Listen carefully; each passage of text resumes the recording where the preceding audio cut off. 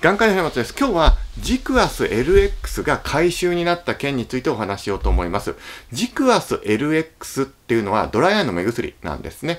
ジクアスっていう目薬があって、ジクアス LX っていう方がちょっと長く効くお薬なんですけど、まあ今回これが3点製薬っていう製薬会社さんから自主回収っていうのが入ったんです。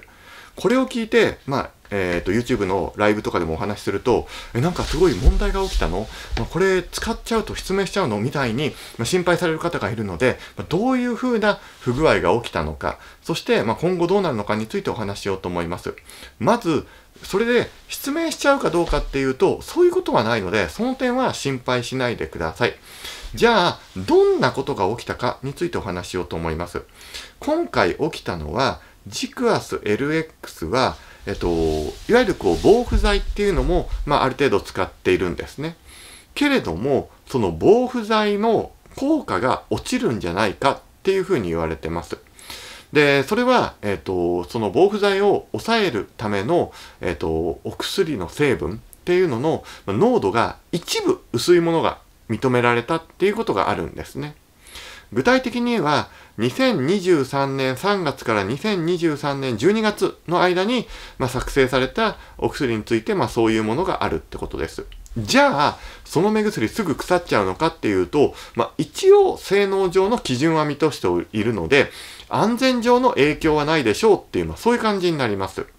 え？安全上の影響がないのになんで自主回収なの？っていうと、まあ、お薬というのは厳しい世界できちんと定められた能力そして機能というのを持っていなければいけないものなんですね。それなのにその機能が落ちている可能性がある製品というのは、まあそういう感じになっちゃうわけですよ。じゃあ、その自主回収っていうのは、患者さんに渡したものを、じゃあ返品するのってあるじゃないですか、たまに。そこまでかっていうと違うんですよ。なので、要は世に出回っているジクアス LX がなくなってるだけで、患者さんに渡したものをこれ返品してくださいよっていうほどのものではないと。まあ、クラス1、2、3とかってあるんですけど、クラス2っていうような被害っていう感じで言われてます。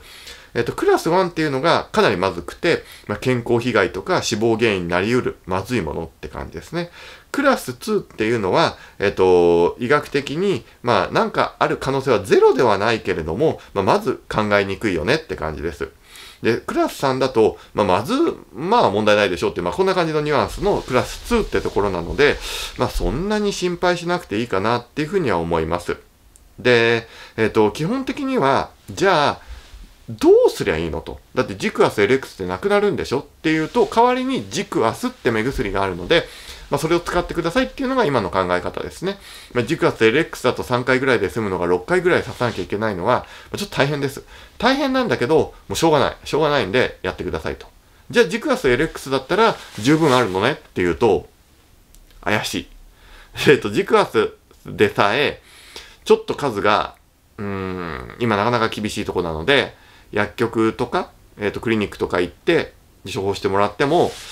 いや、ちょっと今ないですってところも、まあ、正直言ってあるかなと思いますね。同時に、レバミピドとかって言うんですけど、まあ、ドライアイの目薬で、まあ、ムコスタの仲間で、まあ、白い目薬ね。で、いうのもあるんですけど、これもまた今、市場にほぼないんですよ。だから、ムコスタっていうのを代わりに使いましょうってなってるんですけど、ね、同じようにムコスタもやっぱ本数少なくなっちゃってて、ドライアイの患者さん今ちょっと大変。ジクアス LX ない、レバミピドもない、代わりにジクアスとかムコスタ使うんだけど、それも市場に少ないっていう感じで、まあ残ってるのはヒアレインってあるんですけど、ヒアレインやっぱ弱いので、うーん、ちょっとね、まあ、製薬会社さんどうにかしてほしいよねっていうのが、うん、まあ正直な感想ですね。ただ、まあ現状起こっちゃってるのでしょうがないと。じゃあ質問で、これっていつになったら再開するんですかってよく聞かれるんですよ、患者さんに。わかんないです。なんでかっていうと、結局、この原因とかって、まあ、メーカーが、まあ、こんな原因です。なんだか、今回だと LX だと自主回収ですとか、まあ、そういう他のお薬だと、まあ、コロナのせいですとか、えっ、と、ウクライナのね、まあ、侵攻、戦争のせいですとか、なんかいろいろ言うんだけど、なんかよくわかんないのね。結局は、あとは能登の地震によって工場がどうのこうのとかって言ったりもあるんだけど、うーん、まあ、正直全然わかんないです。で、具体的にそのメーカーさんに問い合わせても、いつになったら回復するんですかっていう回答は、わかりませんなんですよ。なので我々も、まあ、正直、ね、早く作ってよとは思うけど、わかりませんとしか言いようがないっていうのが、まあ、感想っていうふうに思ってくださればと思います。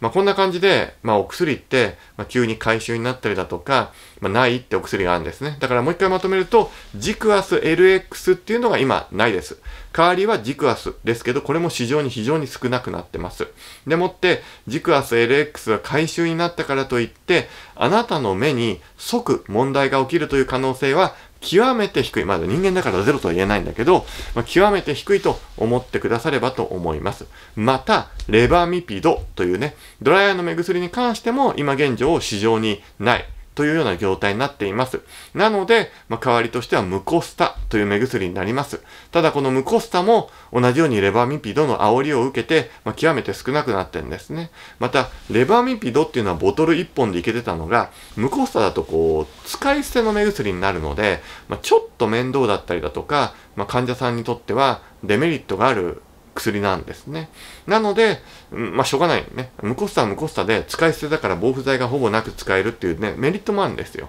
だそれぞれ、あの、良し悪し。で、無コスタも市場には少ないっていうところがあるっていうふうに、まあ、思ってくださればいいかなと思います。で、こんな感じの、まあ、あの、新しいお薬情報とかは、日々、えー、この、YouTube チャンネルでアップしてきます。だからあなたの使ってるお薬に、まあ、急に不具合があったとか、あなたのやった手術の、まあ、実はこういうことがあって問題が出てきてんですよ、みたいな情報もアップしていきます。で、それをチェックするためにチャンネル登録してても、結構こう、動画って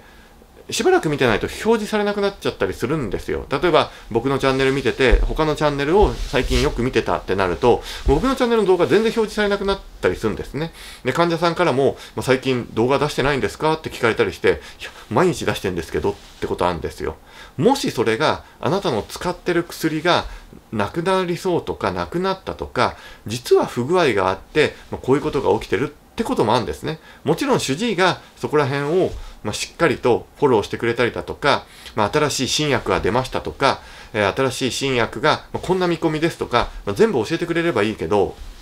なかなか難しいと思います。ってなってくると、あのー、この動画をチェックするしかないと。でも全部見るの面倒って思うんですよ。その場合はどうすればいいか。えっ、と、YouTube の概要欄っていうのが下にあります。そこの概要欄っていうのに、メールマガジン登録っていうのがあるんですね。これを登録していただけると、毎日メールで、今日はこういう内容のお話ししますっていうのが送られてきます。で、それ見ていただいて、あ、今日関係ないわ、見なくていいわって場合は無視しちゃって結構です。だって、関係ないのまで見ろとは 言わないですよ。なので、関係ある、自分で興味あるなっていうんだけ見ていただければと思います。ただ、興味あるのだけじゃなく、関係するのは一応見た方がいいですよ。例えば、緑内障で新薬にしか興味ないって言っても、いや、こっちが大切なんだけどなっていうのもあるので、自分に関連するようなものは、まあ、ぜひぜひちょっと見ていただけるといいかなって思います。まあ、こんな感じで、まあ、新しい情報、いろいろ日々アップしていきますんで、ぜひチャンネル登録、ベルマークをして、で、概要欄のね、メールマガジンを登録しておいていただければと思います。よろしくお願いします。